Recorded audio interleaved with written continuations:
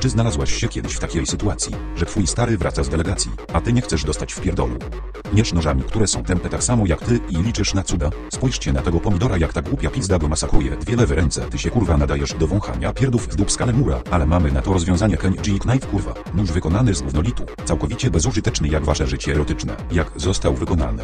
A no tak, to jest laser i sproszkowana sperma Chucka Norrisa. Laser robi dzium po spermie i tak się tworzy ten nóż, który rozpierdala was na hita w Dark Soulsach. Kamienia może i nie przetnie, ale za to świetnie przecina powietrze i ananasa, który dobrze działa na kutasa. Możecie zapytać o to mojej starej.